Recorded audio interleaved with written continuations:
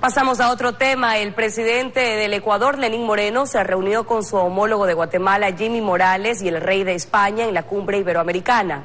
En este encuentro, que durará hasta el viernes 16 de noviembre, se exponen temas de inclusión y desarrollo sostenible.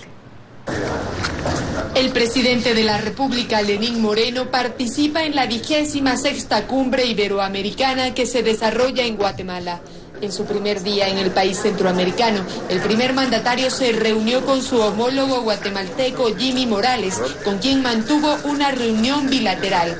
También saludó con el rey de España, Felipe VI.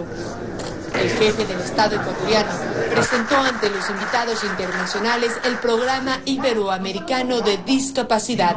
Igual que la Convención de los Derechos de las Personas con Discapacidad, nos dan eh, las normas más los protocolos a seguir para poder convertir esos protocolos y esas eh, normas, poder convertirlas en leyes públicas y transformarlas sobre todo en políticas públicas en beneficio de las personas con discapacidad, en beneficio de la diversidad.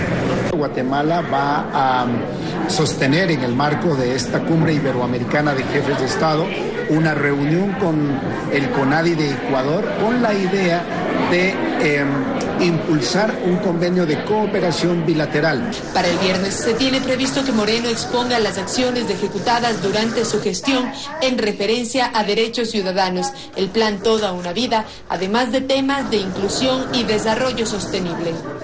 Informó Valeria Navarro.